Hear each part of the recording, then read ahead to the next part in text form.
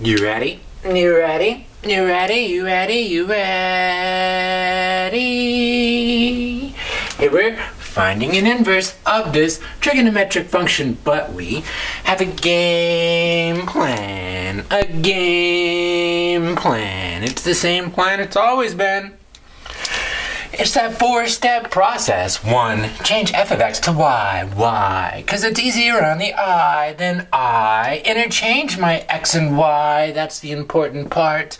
Then we solve for y. And that last step, that step you're going to forget. You're going to want to replace y with f inverse of x. What's next? Well, now, this is on a restricted domain. Because if we look, ooh, can you see down there? You can. Yeah, man. I went and I drew our function. It's not one-to-one, doesn't pass the horizontal line test.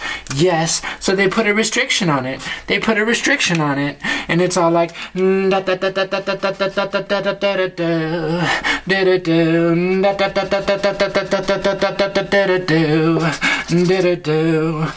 then they go and they get rid of those pieces. Why? So that it's one to one, so that it has an inverse. I'm up here. that is that said. right said. All right, Fred. That's why they put this at F. What the F? Step one, replace F of x with y. Why? Because it's easier on the i.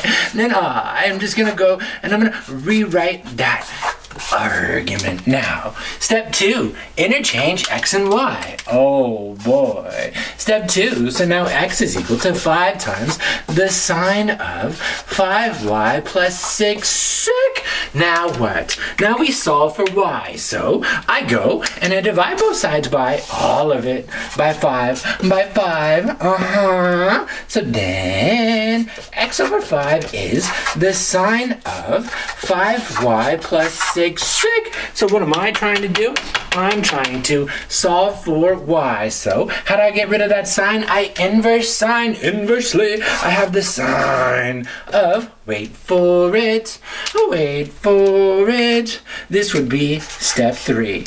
So the sine inverse of x over 5, that's going to be, now the sine inverse of the sine, they're inverse operations, so I go and I get rid of the sine. Oh boy, that's a 5y plus 6. Sick! Now I back that math up. I subtract off that 6 and I have a minus 6 plus that sine inverse of x over 5 that's going to be 5y.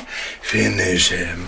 Yeah, finish him. So I divide both sides by 5. And I am also going to use my reflexive property of equality. So I have my y. That's going to be uh, a minus 6 fifths. Sick plus 1 fifth because I'm dividing by this 5, the sine by the 5, so that's 1 fifth of the sine inverse of x minus 5. Okay. Now what? That's last step, that fourth step, that step that you're gonna forget.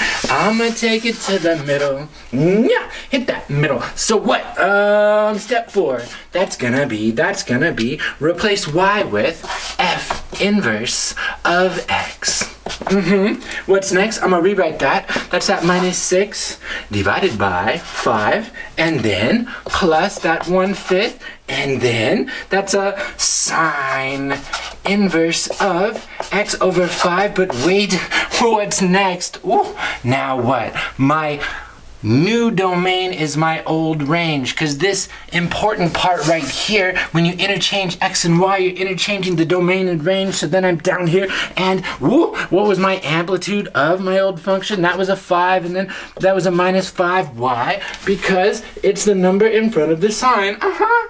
Mm. Yeah. All right, so now what? So my new domain is my old range. So what do I get out of this? I'm gonna go get out of this, and my new x is gonna be bound above and below by a minus five and a five. So then, um, mm, mm, yeah, box and flower. Oh, that's the first flower of the day.